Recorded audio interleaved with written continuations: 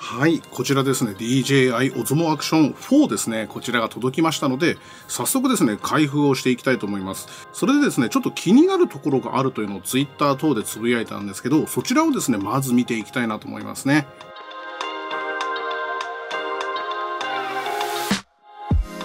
はい、ということでですね、もうサクサクっと開封していってみたいと思います。もうですね、この包みだけ取りまして、このようにですね、最初の蓋の部分を開けますとですね、おいしょと。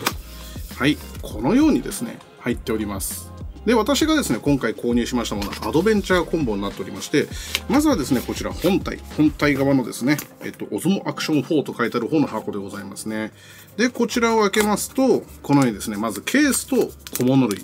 そしてですね、その下の部分に本体の方なんですけど、こちらは最後に回したいと思います。で、続きましてもう一つの方の箱でございますね。こちらがアクセサリーズと書いてありまして、まあ、このアドベンチャーコンボのアクセサリーのですね、この集団が入っているのかなと思いますね。で、こちらをパッと開けてみますと、まずですね、やっぱりこう安定の尻かげるですね、これがあるないは結構違うかと思います。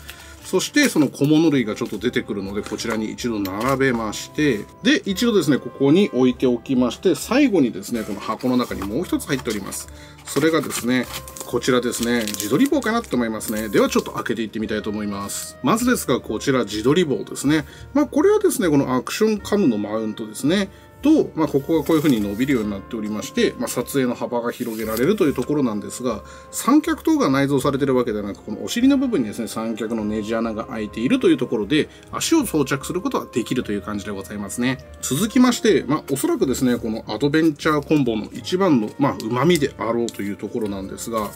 こちらになります。じゃーんと。こちらですね。これバッテリー、えっと、充電器と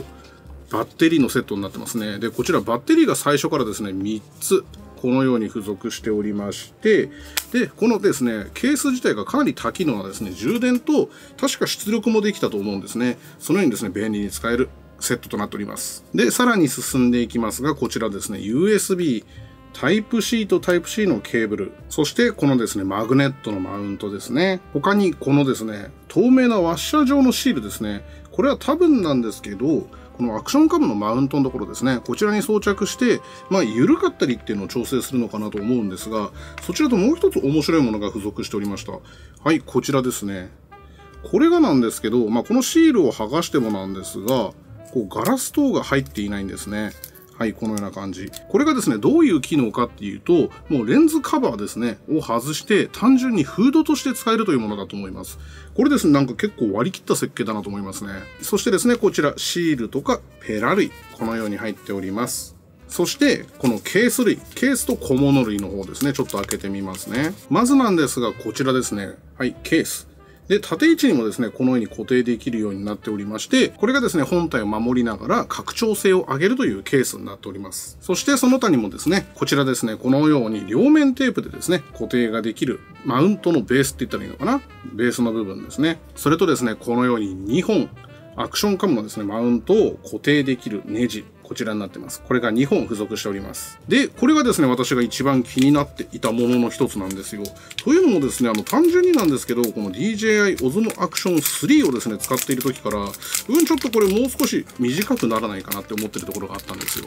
それがですね、短いものがですね、付属しているようだという理由があって、このアドベンチャーコンボを入手してみたということになります。それがですね、このマウントなんですよ。マグネットマウントのベース。というのがですね、このショートのモデルが入っているんですね。こちら。で、実際のサイズの違いというのが、このぐらいになっております。こちらが長い方、普段のですね、長さ。で、こちらが短いモデルですね。というところで、この短いですね、このマウント、マグネットマウントのベースがついているっていうのとってもいいなと思ったので、こちらを入手してみたという流れでございます。そしてですね、とうとうこちらがお待ちかねの本体となっております。こちらですね、DJI Osmo Action 4になっております。ではですね、この後、簡単なですね、設定だけ終わらせてですね、少しこの室内でですね、私を撮影してみたいと思います。はい。では、簡単にですね、ここで画像の比較というのをしてみたいと思います。まず、現在ですね、収録しておりますのが DJI Osmo Action 3の方になります。で、画像の設定の方なんですけど、4K30 フレーム。で、プロモードをですね、オフにいたしまして、画質の最適か画像の最適かどちらだったっけかな、そちらをオンにしている状態でございますね。ということで、こう手放しでですね、簡単にこう手元に届いた後に収録して、まあ一番綺麗に撮影できるモードなんじゃないのかなと思います。ということで、こちら 4K30 30フレームですね。音声もこの DJ オズマアクション3のものを使用しておりますので、ぜひですね、ちょっと聞き比べてみていただければと思います。では、この後ですね、こちら DJ オズマアクション4の方にですね、交換してみたいと思います。はい。ということでですね、こちらが初撮影ですね、DJI Osmo Action 4のですね、映像となっております。で、こちらもですね、その低照度化の画質最適化かなっていうのはオンになっておりまして、まあ、4K30 フレーム。そして画角はなんですけど、共になんですけど、標準歪み補正の画角で収録撮影をしてみております。で、まあ、あの、最初届、ほぼ最初届いたままの設定ですね。ただ、あの、4K30 フレーム RockSteady オンになっているっていうのと、そのですね、画像の比較というところで、まあ、あの、歪み補正にしている。最初は広角でしたね。というぐらいの違いでございます。この後ですね、プロモードとかって色々あって、そちらの方を使っていくとですね、様々な違いっていうのは出せると思うので、こちらですね、引き続き検証していければなと思いますね。まあ、このですね、DJI Osmo Action 4っていうのは私、この運用のしやすさってところではものすごく気に入っていた機種なので、それがですね、このブラッシュアップ版というところで、悪いと感じるわけがないなというのが最初の感想なんですね。ただ、やっぱりですね、この暗いところでの映像だとかっていうのに、こうネックだなと感じていたところが大きかったのが、このですね、アクション4で大きく改善されるであろうというのがですね、とても楽しみなところでございますね。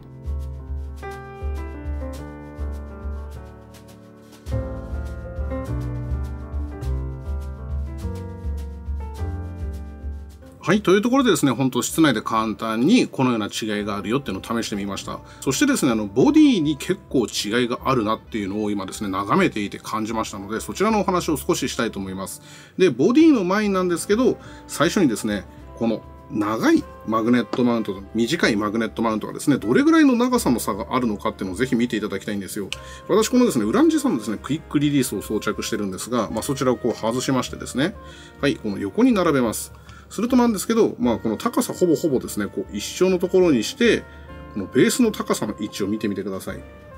はい。これだけですね、長さが違うんですよ。まあ、あの、大体なんですけど、5ミリぐらいですね、小さくなってるかな、短くなっているかなという感じなんですね。これがですね、結構この首長感があった今までの、このですね、アクションガムのマグネットマウントというのがですね、まあ、適度にですね、短くなってくれることによって、とても使いやすくなるんじゃないのかなと思います。というのもなんですけど、一番使いやすくなりそうだなと思ってるのが、このネックマウント使用時なんですね。これの時に長すぎてですね、調整が難しかったりしたことがあったりしたわけなんです。という時に、にまあ、短いことによって生じるメリット、もちろんデメリットも角度がですね、調整できにくくなるかもしれないなというところはあったりとかするんですけど、まあ、この選択肢が増えたっていうのが私の中ではとっても嬉しいことなんですね。そしてこのボディの方、これですね、パッと出してパッと触ってですね、あ、違うって思ったところがあるんですよ。おそらくなんですけど、この素材の高級感という意味では、この DJI Osmo Action 3のが、まあ、高級感あるなっていうイメージです。というのもなんですけど、パッと触った時に、ひんやりするんですよ、ボディが。まあこれがなぜかと言いますとなんですけど、おそらくボディの方がですね、マグネシウム合金なのかなっていう感じなんですね。マグネシウムかアルミニウムか。というところでですね、こう金属でできているというのが、この特に内側を見たりした時にですね、この USB Type-C のですね、周りの作りとかを見ると、あ、金属っぽいっていうのがとてもわかるんですよ。に対してなんですけど、決してですね、これ高級感がないとかビルドクオリティが低いってわけじゃないんですけど、このアクション4の方はですね、まあプラスチックっぽいんですよね、とても。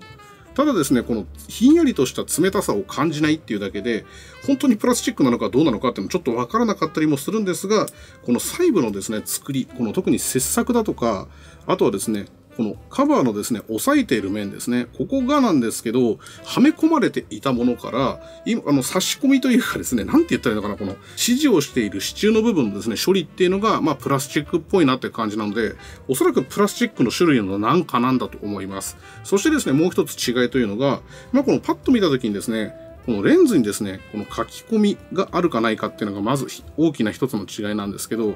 このようにですね、まあ、中のレンズのサイズ感がまず違いますよね。そしてなんですけど、この縁の部分、こ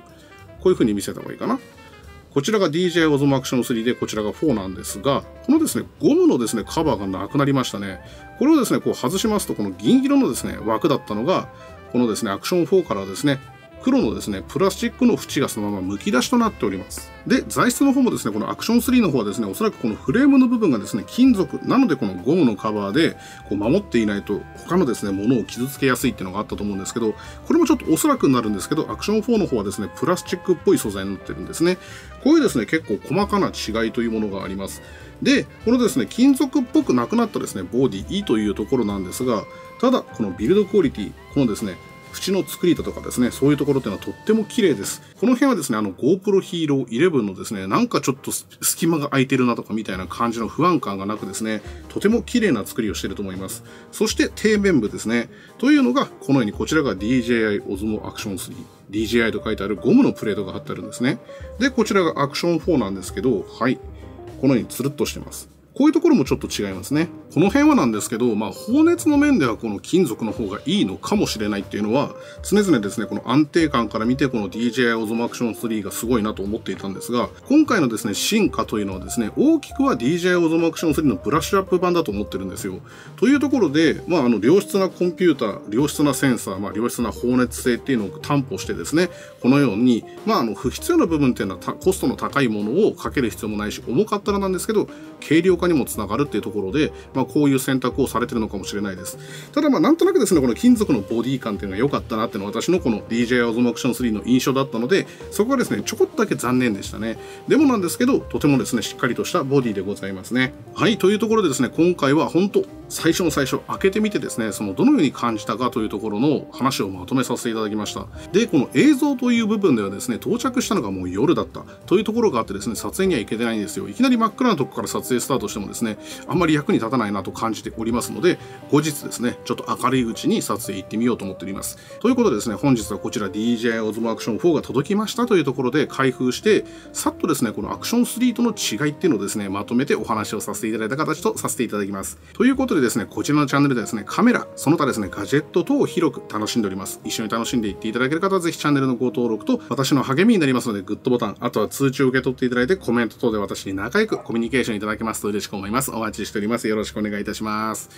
まあ、ということでですね、この DJ オズモアクション4が届きましたというところで、まあ、このアクション3に感じていた、まあ、不満であった部分っていうのが結構改善してくれるんじゃないのかなっていうのが主にですね、センサー。センサーのサイズがですね、1.3分の1インチと、まあ、かなり大きくなりましたね。というところがまず一つ。そしてですね、そのセンサーが大きくなったことによる弊害っていうのもありまして、こちらですね、昨晩ですね、ちょっと気になって調べたんですけど、確かですね、あの最短撮影距離が DJI Osmo Action 3の方は30センチぐらい。で、アクション4の方がですね、40センチぐらいからだったんですね。まあ、これはですね、当然このセンサーが大きくなることによって接写にも弱くなる。そしてオートフォーカスを搭載しているわけでもない、まあ、フォーカスの機能があるわけでもないというところで、まあ、致し方ないのかなという感じなんですが、この辺というのはですね、もしかしたら、この室内で食べ物等を撮影したりとかするときに、ちょこっと困るかもしれない。ということで、おそらくあの、後付けのマクロレンズ等は出るのかなっていう印象があるんですね。